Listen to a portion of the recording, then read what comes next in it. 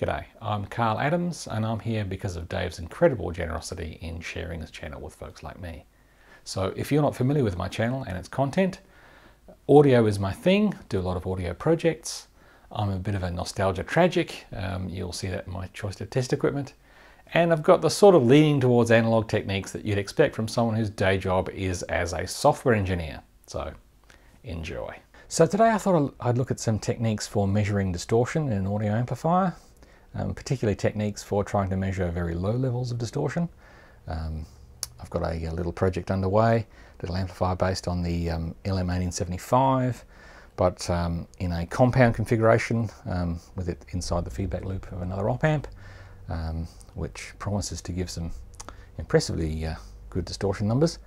But that then is challenging to measure on an instrument um, like the uh, 3562A, uh, which has 75, maybe 80 dB of dynamic range tops. So I was going to experiment with using an old-fashioned analog distortion meter as a, uh, a, notch filter, basically, as the front end prior to uh, putting the signal into the uh, DSA. Let's give it a go.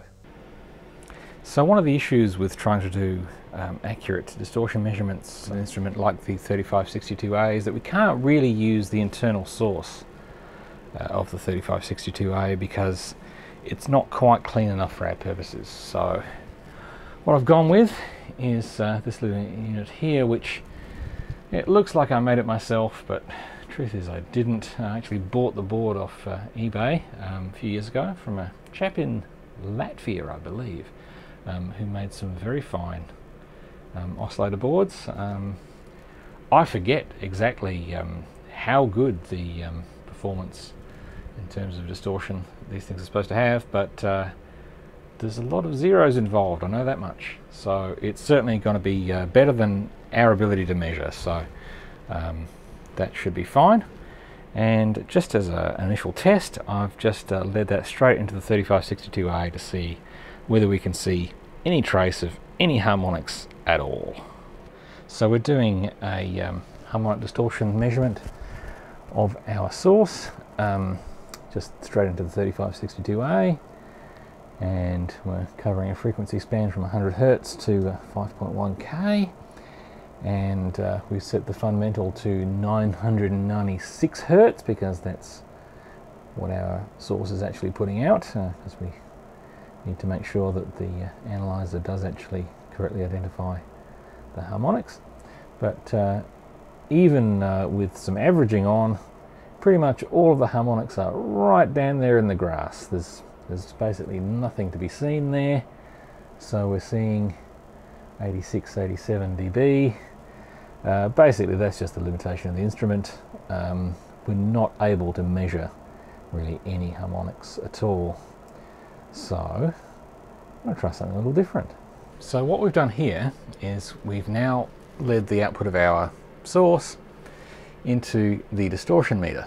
So this is a uh, Leader brand distortion meter from the mid 1980s, I would believe. Um, previously actually had the model before this, the uh, LDM 170, which uh, Unfortunately didn't have the, uh, the automatic uh, nulling mode that this one does and certainly trying to use that in its originally intended purpose was most frustrating as uh, attempting to get the uh, notch filter properly nulled and keep it that way was very tricky indeed.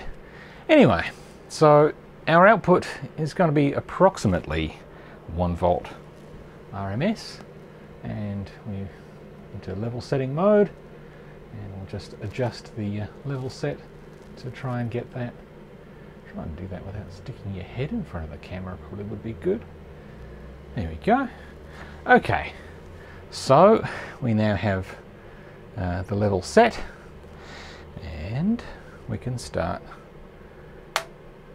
adjusting this is actually pretty good so um, frequency is set pretty close where it should be. It's 10 times 100, around about 1 kilohertz.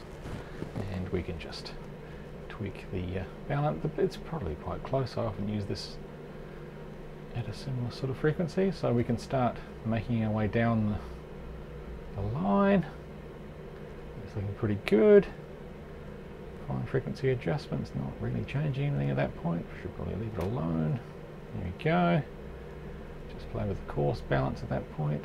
Might just touch that and see if that can get better. Oh, can it what? There we go. Okay, that's good. Keep making your way down. Uh-huh. Dare I touch the coarse adjustment? Yeah, we're still good. Oh, look at that. Now, this I don't really want to try touching that now, I don't think. We'll try that one. Not really doing anything. Alright, let's go to there. And that's in manual mode. I don't want to start out in auto. Let's see if I can do any better. No, that's right at the limit anyway, which I don't like. Oh. Oh, and I've made it worse. Oh here we go. Uh, dear.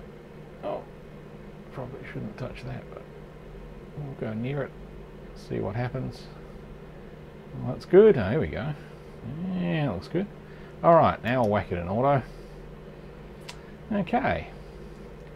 So we're currently um, in a mode where 1% uh, distortion is uh, full scale. So if you're not familiar with these instruments, basically they're um, a notch filter um, followed by um, an amplifier and an AC millivoltmeter.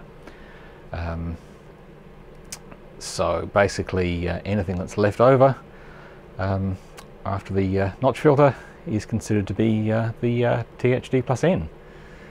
Um, now, the thing about this is that the limiting factor for these things is always the depth of the notch. Um, so, I mean, this thing's best measurement range is 0.1% full scale, um, and I think it's um, 0.015 or something like that is about the minimum reading you'll ever get off of it. Um, but that's not because it's 0.015% distortion um, inside the machine, it's simply that it cannot suppress the fundamental any more than that. Now, with our dynamic signal analyzer, our limiting factor there is that it has um, a 14-bit analog to digital converter. So although the, uh, the DSA has uh, enormous dynamic range in terms of being able to deal with uh, input signals of different magnitudes. In terms of dealing with uh, signals uh, that are occurring at the same time, uh, it's limited by the number of bits in the ADC.